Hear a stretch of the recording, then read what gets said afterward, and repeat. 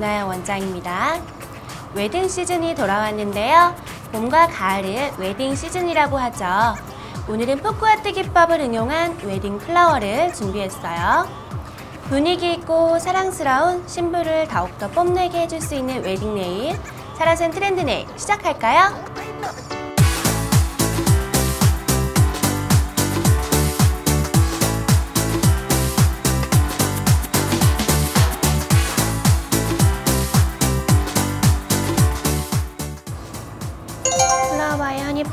베이스트를 전체적으로 발라주세요. 소량으로 밀착하면서 발라줍니다. SP08번 브라운 계열의 펄 라인을 전체적으로 발라주세요. 원컷만 해주면 됩니다. 입자가 고와서 블링블링하죠? 프로페셔널 UV 컬러 젤 키트 중에서 6개 컬러를 사용을 할 건데요. 뚜껑을 열어서 준비를 해줄게요. 팔레트에 덜어주고요. 먼저 마젠타 컬러부터 뜨도록 하겠습니다. 팔레트에 덜어주세요. 그 다음에 화이트 컬러를 덜어주세요. 그리고 purple 컬러, yellow,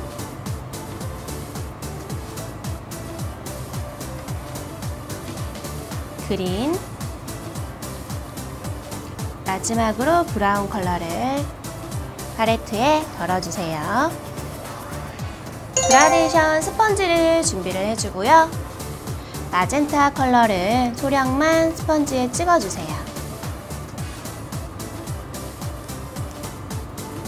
그리고 베이스 있는 부분에 콧이 들어갈 부분에 이렇게 툭툭툭 가볍게 두드려주세요. 너무 많은 양을 사용하면 안 되고요. 소량만 사용을 해주세요. 그리고 나머지 여백 부분에도 조금씩 컬러감을 입혀주세요.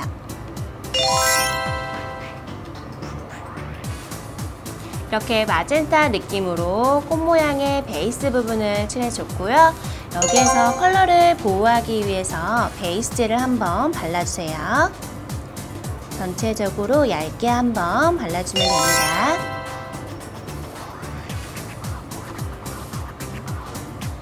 허니팝 브러쉬 샤텍 2번 라운드 브러쉬를 사용을 할 거고요. 라운드 브러쉬에 화이트 젤을 묻혀주세요. 화이트를 소량으로 묻힌 다음에 웨딩 느낌의 꽃을 그리도록 할게요. 먼저 가운데 있는 부분에 하트 모양을 작게 그려주세요. 브러쉬는 눕히지 말고요. 가볍게 세워서 하트 모양 한 입과 두 입을 하면 가운데 하트 모양처럼 느낌이 되죠? 연결해서 꽃잎을 둥그렇게 그려주세요. 브러쉬를 눕혀서 그리지 말고요. 이 모양을 살짝 세워서 꾹 누른 다음에 끝을 빼주세요. 그리고 연결해서 둥그렇게 그려주도록 할게요. 끝부분과 연결된 이쪽 부분에 꾹 눌러서 끝부분을 빼주세요. 그리고 손톱이라고 하면 이렇게 반대로 뒤집어줘도 되는데요. 이렇게 뒤집은 후에 다시 끝부분에 연결을 해서 꾹 눌러서 둥그렇게 그려주세요.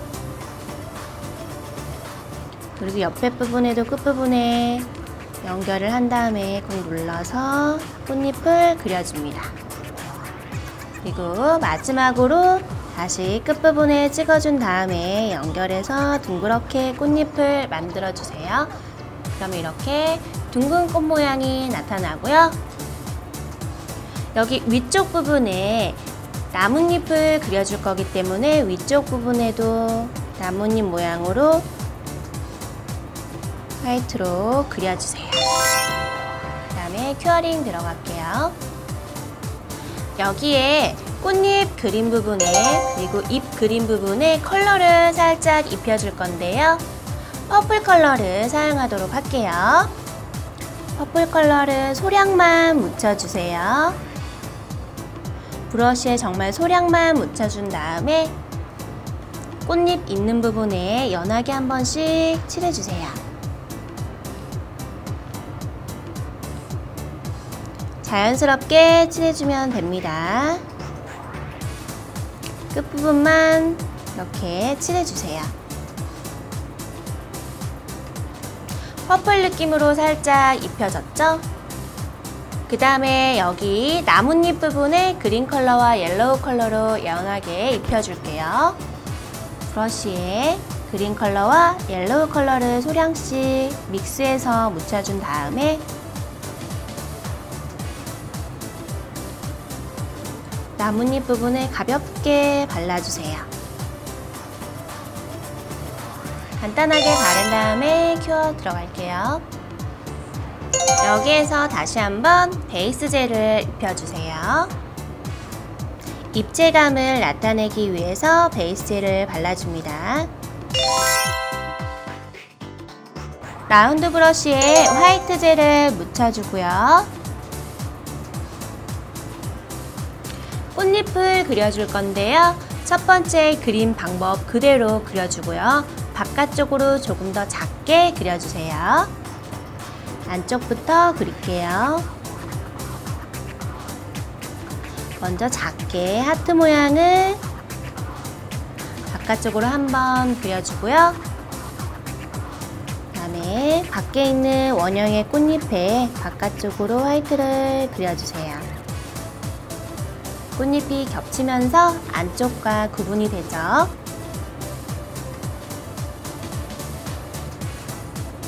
바깥쪽으로 꽃잎 하나씩 그려줍니다. 모티브를 뒤집어서 바깥쪽으로 한번 이렇게 그려주세요.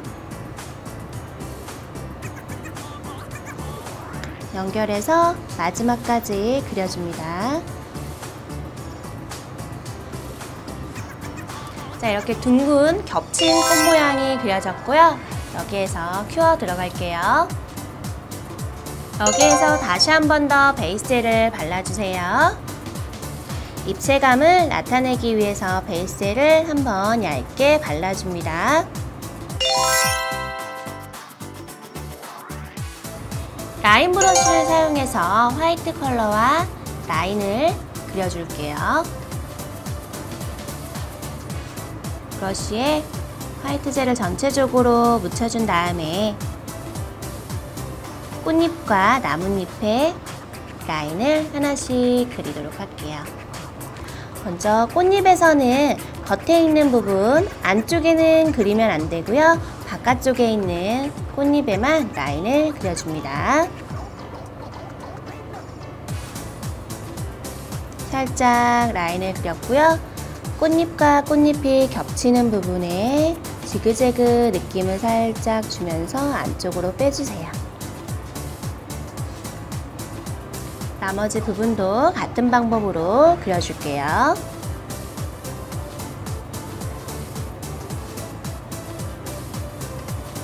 겹치는 부분은 지그재그 느낌으로 해서 안쪽을 길게 빼주면 됩니다.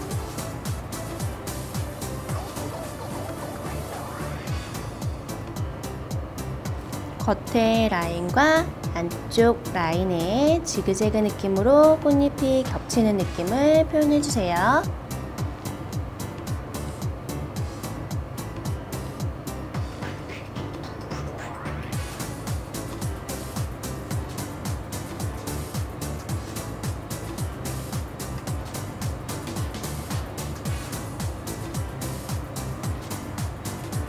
이렇게 겉에적인 부분에 선을 그려줬고요. 이제 안쪽에 있는 하트 모양의 선을 그려줄게요.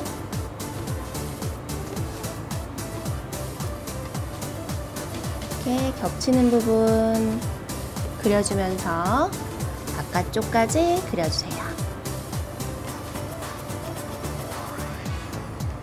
그리고 나서 여기 나뭇잎 부분에도 선을 그려줄 건데요.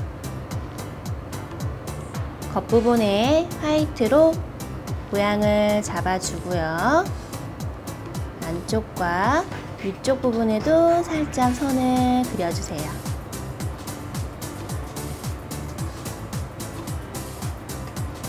그리고 여기 여백 부분에 길게 선을 그려주면 더 멋스럽게 연출할 수가 있습니다.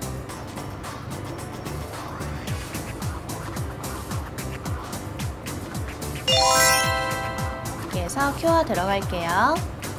이렇게 전체적인 부분에 부족한 부분이 있으면 이 동그란 안쪽 부분에 가늘게 선을 한 번씩 둥글둥글하게 그려주면 더 효과가 좋아요.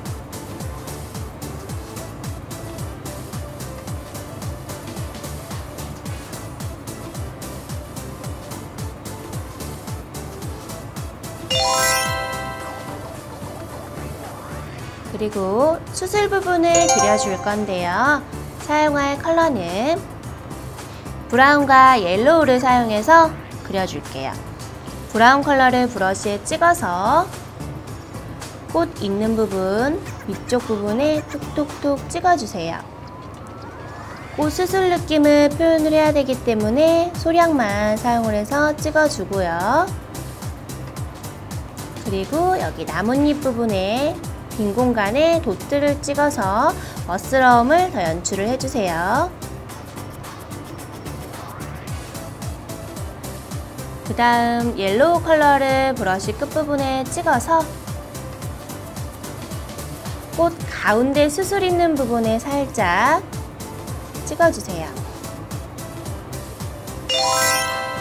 이렇게 한 다음에 cure 할게요. 여기에서 top gel로 마무리 해주세요. 플라워 바이오니파 top gel을 전체적으로 살짝 도톰하게 힘을 뺀 상태로 발라주세요. 남아있는 미경화젤을 젤 클렌저로 깨끗하게 닦아주세요. 가볍게 닦아줍니다.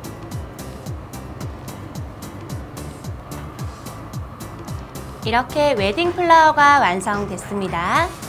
folk art 기법을 네일에 그리게 되면 작은 손톱이기 때문에 어려움이 많죠? 정확한 folk art 기법으로 그리기보다는 네일과 젤에 맞게 그려주는 게 좀 더 쉽고 예쁜 꽃 모양을 나타낼 수가 있습니다. 트렌드 네일 위라에서 블링블링한 웨딩 네일을 보여달라고 요청하셨는데요.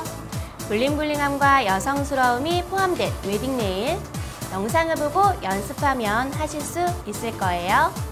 유행을 선도하는 사라센 트렌드 네일 영상을 보고 따라한 완성된 인증샷을 사라센 네일아트 연구소 사이트에 올려주세요. 추첨을 통해 푸짐한 상품을 드릴게요. 궁금한 점은 댓글을 달아주고요. 오늘 여기서 마무리할게요. 다음 시간에 만나요. 안녕!